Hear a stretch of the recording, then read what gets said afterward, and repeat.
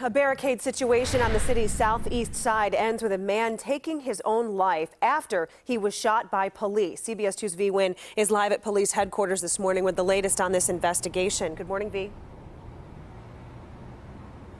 Yes, good morning, Marissa. Police telling us this morning the suspect was a 24 year old man and he was shot during what police are calling an armed encounter. Police say someone called 911 last night to report a man with a gun and shots fired. It happened last night in the 9400 block of Escanaba. Officers in the 4th District responded to the scene and called for the SWAT team. Police believe this all started when the man got into some type of argument or dispute with family members inside that house. He initially fired shots shots from inside before making his way to the garage. Officers got there and set up a perimeter and tried to negotiate with the man to surrender peacefully. Police say the situation unfolded over the course of several hours.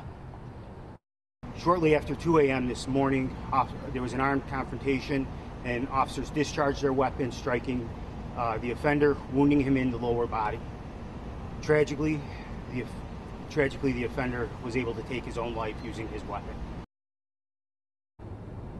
Now, police shared this picture on social media and say they recovered the man's gun at the scene. The Civilian Office of Police Accountability is now investigating. The officer involved has been placed on administrative duties for 30 days. Police tell us they are still in the early stages of this investigation and could not say whether officers have been called to this house before. But what we do know is that everyone inside made it out safely and no one else was injured. Reporting live at police headquarters, Vi Nguyen CBS 2 News. Marissa, back to you.